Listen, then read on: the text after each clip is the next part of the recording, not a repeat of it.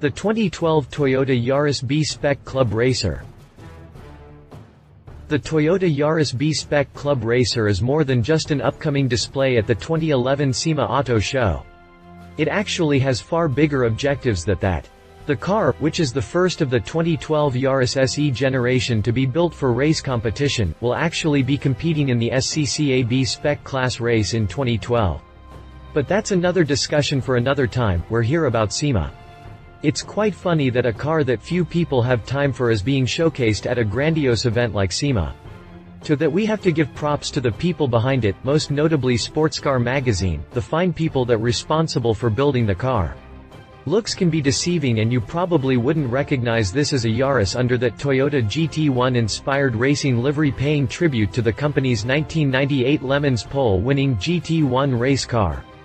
Add that to a new Cusco 03 series suspension kit and a set of 15 inches Enkei RPF1 wheels wrapped in Hoosier racing tires and you probably wouldn't think that this was a Yaris at all. The car's overall sporty styling, is even more punctuated by an interior that offers all the latest in racing technology, including an 8-point and FIA race seat with a 6-point harness, a WRC steering wheel, an Autopower window net, a 2.8-liter fire system, an SCCA spec roll cage, and RLC Racing Track Commander data acquisition system. Then there's the matter of the powertrain, to which this race car carries a 1.5-liter Toyota 1NZFE engine with VVT-i technology wired to an AEM Performance Electronics M Series 2 system. No word yet on how powerful the car is, but considering that it's a race car, expect it to offer a lot more punch than a standard Yaris.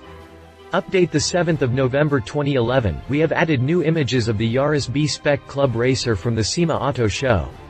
Check out all of the new images in the picture gallery provided.